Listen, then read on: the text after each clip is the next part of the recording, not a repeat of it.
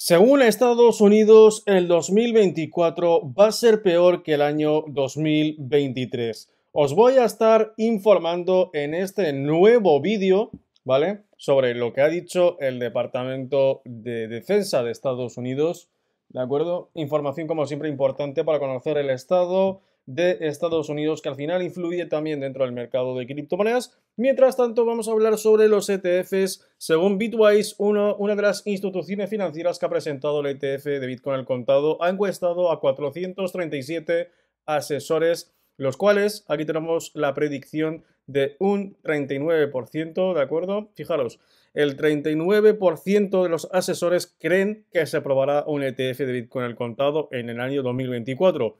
Quiere decir que el, resto, que es un 61%, piensa que no va a haber aprobación del ETF de Bitcoin en este año 2024. Por el contrario, los analistas de ETF de Bloomberg fijan la, probabilidad de una aprobación en enero en 90%, ¿vale? Como siempre, cuando habla la prensa es cuando hay que preocuparse porque lo están vendiendo como que ya está hecho, ¿vale? Nuevamente, vuelvo a insistir, si vemos que nos están asegurando algo y que aún no es oficial, hay que tener mucho ojo porque fijaros que según Bitwise, que es una de las instituciones que ha presentado el ETF de Bitcoin, que ha realizado una encuesta a, más de 400 personas, 400 asesores, los cuales la gran mayoría, bueno, no, no, la gran mayoría, pero la mayoría piensa que no va a haber un ETF de Bitcoin en este año 2024. Sin embargo, fijaros cómo luego Bloomberg, por ejemplo, prensa dice que sí, que va a haber una aprobación y el 90% de probabilidades. Hay muchos datos en este momento, realmente no sabemos si son ciertos o no. Fijaros en lo siguiente. Eh, extremadamente cercanas al asunto. Dicen que los ETFs al contado de Bitcoin serán aprobados por la SEC, informa Jacqueline Melink de TechCrunch, ¿vale? Como siempre, cuando los lo están diciendo que realmente está aprobado, preocupación, alarmas, ¿vale? No te creas mucho lo que se dice dentro de las redes sociales, lo que dice mucho la prensa, porque al final hay que tener en cuenta que aún no ha sido absolutamente nada dicho por la SEC. Y fijaros que aquí tenemos nuevamente otro vídeo en el cual dice lo siguiente, al menos tres comisionados de la SEC están a favor de la aprobación del ETF de Bitcoin al contado, según el analista de Bloomberg. Bloomberg parece ser que tiene mucho interés en los ETFs de Bitcoin, quizás porque haya comprado ya Bitcoin y le interesa que el precio aumente, no lo sabemos. Pero la verdad que sí, las están ya poniendo un poco, hablando en plata, pesados con el ETF de Bitcoin y parece ser que hay mucho interés de, por medio. Y aquí tenemos los comisionados de la SEC, Gary Gensler, parece ser que va a tener esa intención de retrasar aún más el ETF de, Bitcoin al contado.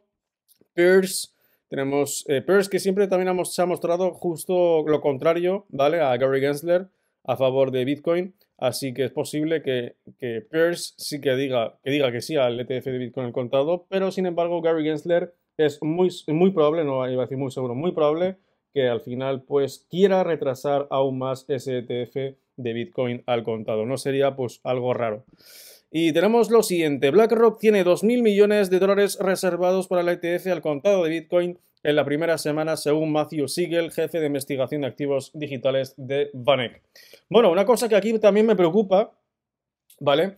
Que según esta noticia, BlackRock, el, gran administrador de activos, eh, la institución financiera más grande en los Estados Unidos y en el mundo, tiene 2.000 millones de dólares reservados para el ETF de Bitcoin al contado.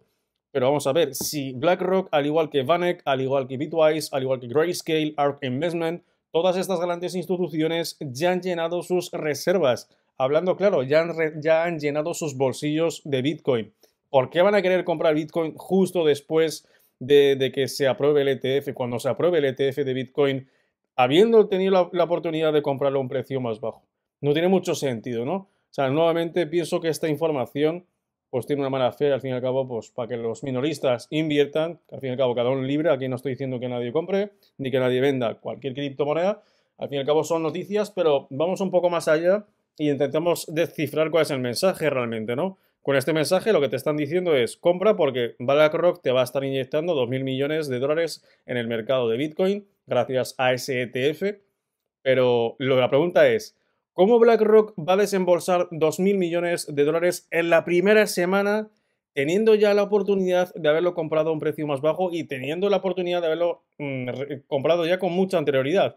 que ahora mismo las reservas, repito, de estas grandes instituciones ya están llenas, ya han comprado Bitcoin, no lo van a comprar después, ¿de acuerdo? Así que mucho ojo con esta información, al fin y al cabo hay mucha información eh, por Internet y aquí pues como siempre tratamos de ir un poco más allá.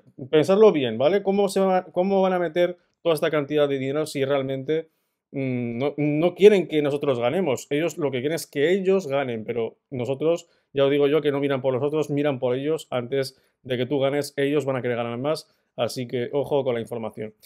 Netflix acaba de lanzar la película BitConnect.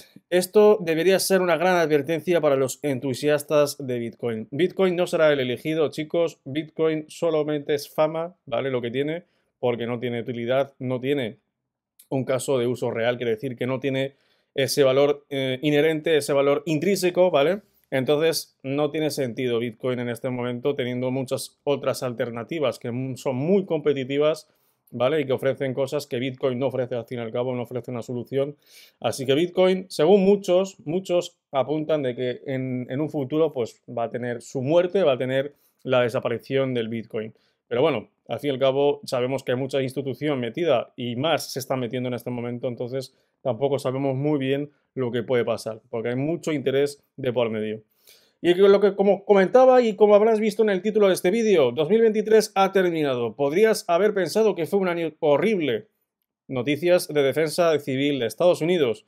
Fue un año horrible, pero 2024 será peor. 2023 fue la calma antes de la tormenta. Prepárate ahora y Dios tenga, tenga piedad de todos nosotros. Bueno, pues aquí lo tenéis chicos el mensaje. Yo ya os, lo había advertido durante el año 2023 finales, sobre todo con los últimos ciberataques. El cisne negro nuevamente se vuelve, se vuelve a repetir, aunque en esta noticia pues no aparece. Pero han, ocurrido muchas cosas a finales del 2023 y que, bueno, pues nos olemos que para este 2024 eh, va a haber mucho movimiento dentro del mercado de criptomonedas. Quizás, quizás de aquí hasta abril vaya a aumentar algo el mercado, vaya a subir el mercado de criptomonedas, pero a partir de abril, después del halving de Bitcoin, yo por lo menos tendría mucho cuidado en este año 2024 porque no está absolutamente nada claro. Ahora mismo las tensiones en Oriente Medio se están intensificando más.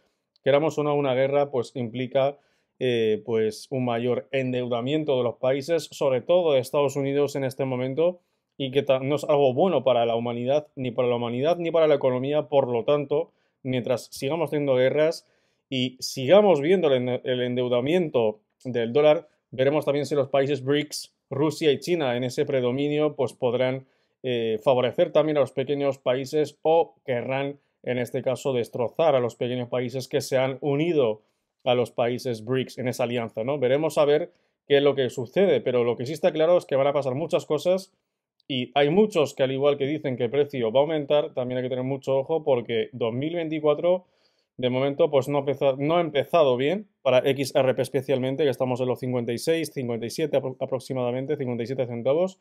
Pero andar con ojo chicos porque va a haber mucha volatilidad y aún pueden variar mucho los precios. No está absolutamente nada claro y sobre todo nosotros como comunidad de XRP pues estamos ahora mismo a la espera a la espera de, la resolución de la demanda entre Ripple y la SEC por las ventas mayoristas del token de XRP. Así que nada chicos, espero hasta el vídeo os ha gustado, dejar vuestro like y hasta el siguiente vídeo.